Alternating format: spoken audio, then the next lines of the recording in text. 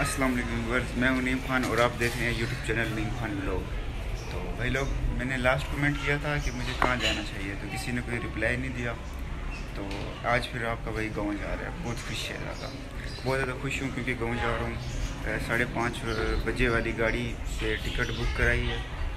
उसके अलावा अभी थोड़ा उठा था तो नाश्ता वगैरह किया। उसके बाद सैलून पे गए, थोड़ा डेंटिंग पेंटिंग का काम था, ये कराया। और अभी फिर थोड़ा तैयारी करने फिर मिलते हैं बस स्टॉप पे। कई लोग ये हम जाने लगे हैं, लेकिन ना दुआ करना वेदर बहुत ज़्यादा ख़राब है। बारिश बारिश का मौसम बना हुआ है। दुआ कीजिएगा कि खैर वाफियत से पहुँच जाएँ। तो भाई लोग, कुछ आधा घंटा सफ़र करने के बाद ना ये अभी हम पहुँचे हैं सुराब को और ना यार वो एसी कोच थी, उसमें ना मुझे टिकट नहीं मिली तो मैंने बुकिंग का कर लिया। मेरा दोस्त है, ये वडाइज ट्रांसपोर्ट कंपनी का ना मैनेजर है। वो मेरा बहुत अच्छा दोस्त है, बल्कि बहुत भाई है मेरा। तो मैंने उसको बोला तो उन्होंने फिर ये नॉन एसी में मेरी टिकट कराई। तो ये भी शुक्र है यार, मिल गई मुझे। बाकी अभी हम ये तकरीबन एक घंटा सफ़र करने के बाद सुराब गोड पहुँचे और अभी दुआ कीजिएगा कि खैर वाफियत से घर पहुँचें तो ये ये अपनी सीट। घर भी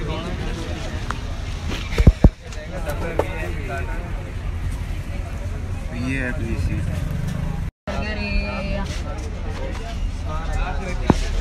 पता नहीं, तकरीबन घंटा या नहीं, दस पंद्रह मिनट यहाँ पे रुकेगी बस। फिर ये मोटर वे पे।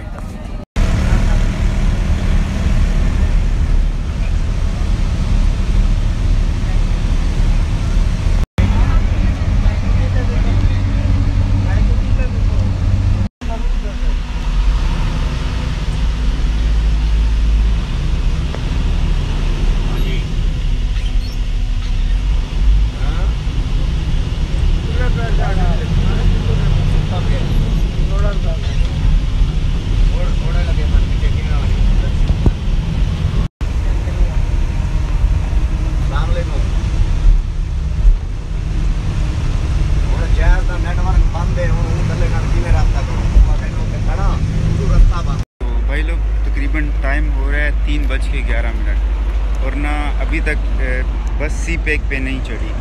तकरीबन अभी हम इधर सिंध में ही घूम रहे हैं बल्कि शक्कर भी नहीं पहुँचे। तो आज बस बहुत ज़्यादा लेट है। तो यार आप दुआ दुआ ज़रूर कीजिएगा कि खैर वाफियत से पहुँचूँ और तकरीबन तक, से तकरीबन सुबह दो से तीन बजे जाके ये हमारे सिटी में छोड़ेगी एम एल सी तो ये अभी हम मौजूद हैं। ये ताज पेट्रोलियम यहाँ पे। यहाँ पे तकरीबन 10 मिनट का ये रेस्ट करा रहे हैं। और कराची से जब से चले हैं ना तो ये इनका फ़र्स्ट रेस्ट मतलब सेकंड रेस्ट था। एक पहले भी कराया है। और एक ये, और ये पता नहीं कौन सी जगह है। सिंध में अभी, है सखर नहीं पहुँचे। क्योंकि सखर पे फिर वो सी पैक आ जाता है ना तो उस पर नहीं अभी है बहुत ही मुश्किलों से, बहुत ही मतलब कि परेशानियाँ आई मुझे रास्ते में, क्योंकि बहुत ज़्यादा लेट हो गया था। तो अभी तकरीबन टाइम हो रहा है ग्यारह का तो अभी मैं अपने सिटी पहुँचा हूँ, मेरे कज़न ने मुझे रिसीव किया। तो अभी ना ये थोड़ा मेरे होंडे में मसला आ रहा था, मेरा होंडा भी है, दिखाता हूँ तो ये मेरा होंडा है, इसमें थोड़ा मसला आ रहा था तो इसकी रिपेयरिंग हो रही है बस। ये रिपेयरिंग करा लेते हैं, और ये मैं दुकान में बैठा हूँ, और ये मेरा सामान है। मैं लाया था अपने साथ। और रिपेयरिंग हो जाए तो फिर इन घर चलते हैं। तो घर का माहौल भी आप मतलब गाँव की ज़िंदगी ये भी आपको दिखाएँगे, कैसे गुजर बसर होती है।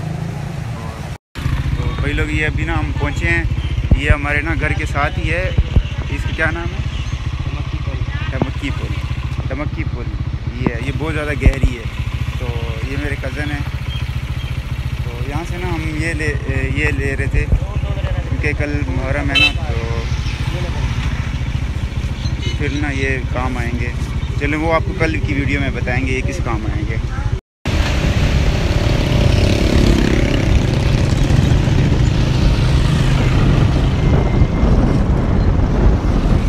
दरअसल ना ये बात ये थी कि ना मैं, मैं मुझे ना यहाँ पे सर्दियों में आना पसंद आता है। लेकिन वेले थे दो महीने हो गए वेले थे तो मैंने बोला चलो चलते हैं कुछ तो करें।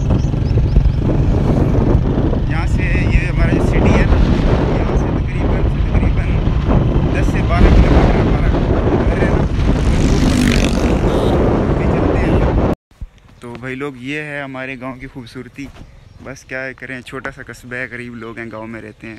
तो यही का लोग आज करते हैं एंड और आज दूसरा व्लॉग स्टार्ट करना है, वो भी इंशाल्लाह नेक्स्ट अपलोड करेंगे। ये देखें, बाकी छोड़ें, ये ये माहौल ना आपको कराची में नहीं मिलेगा, जो यहाँ पे ये व्यू मिल रहा है।